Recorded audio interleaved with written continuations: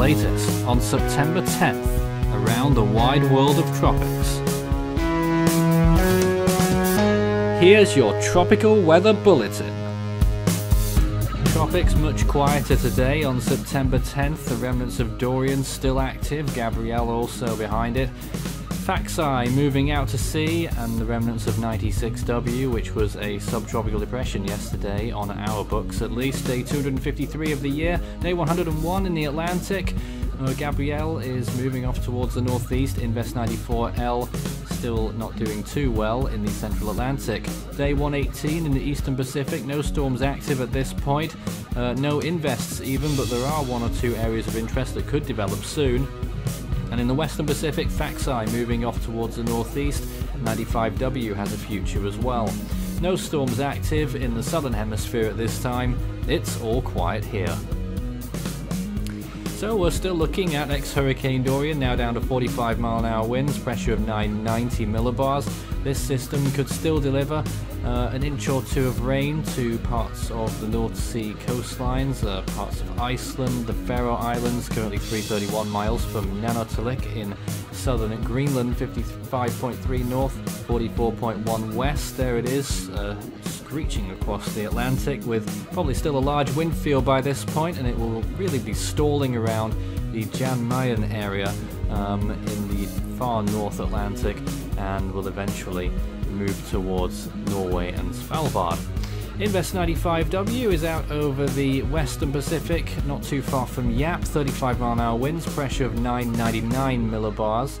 The only other thing that we can really track at the minute since 94L is not likely to develop, 276 miles from Yap, 12.4 north, 135.4 east.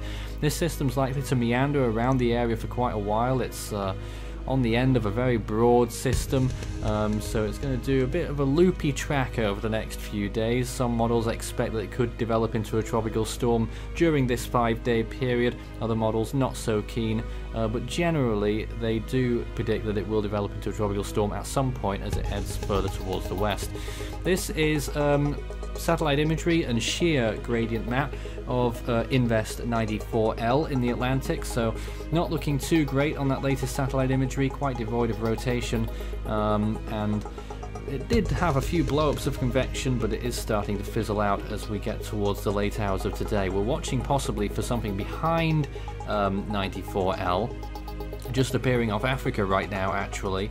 Uh, that could be our next significant system in the Atlantic, some models suggesting that it could become a hurricane in the next seven days before striking the Lesser Antilles. I'm sure we'll know more about this over the next few days as the storm meanders across the western, uh, towards the west part of the Atlantic. This is the Gulf of Mexico, looking fairly quiet. Uh, general thunderstorm activity on the coastal regions. The Eastern Pacific looking like this. You can still see the shadow of ex Juliet, which is still sauntering across the eastern Pacific. Elsewhere, there isn't too much going on, although there are one or two systems expected to become hurricanes in the eastern Pacific in the next week or two. Um, over in the central Pacific, things looking fairly quiet. A few little flare ups there. Um, could be some weak disturbances that could develop later on. The western Pacific looking rather interesting. 95W on the left hand side over there, um, and the models suggest that there could be a few developments in the basin over the next few days, over the course of the week, um, mainly in the Philippine Sea area, uh, open, the open ocean, and possibly heading towards the north. Uh, Japan could also could possibly get something in about a week's time. That's speculative at the moment, and the other system 95W could end up in the South China Sea. Australia and South Pacific region looking fairly quiet. Indian Ocean also rather quiet, just a few flare-ups occurring over India and just off the coast of Bangladesh. Uh, really not too much going on in this area at all.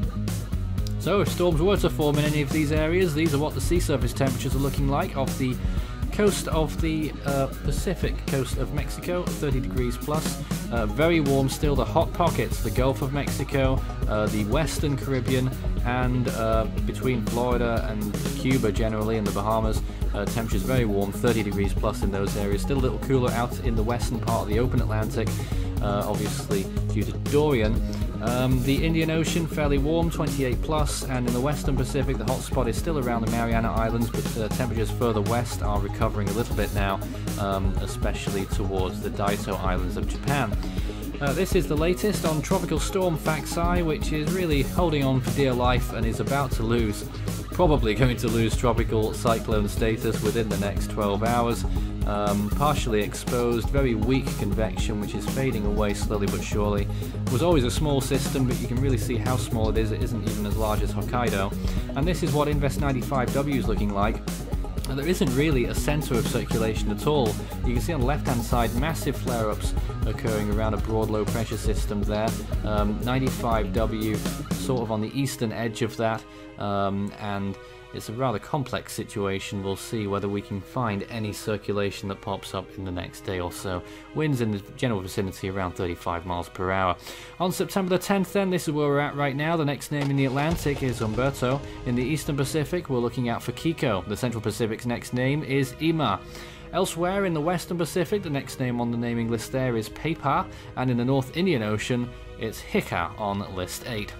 You can find Force 13's outlets, the website force13.com with the latest, our YouTube page, search Force 13 all in text and subscribe if you haven't so far. And you can find us on Facebook and Twitter as well, search Force 13 also all in text on any of those platforms and you can get in touch with us on any of these mediums. That's all for now, another tropical weather bulletin will follow like clockwork tomorrow. You can also help the project become even better by becoming a patron. You can see more information about all the benefits involved by visiting patreon.com forward slash force13. With a special thanks to these people for being our most valued patrons this month. You can also check out our growing merch store so you can show Force 13's colours wherever you go. You can also find a link to our Discord server underneath this video in the description.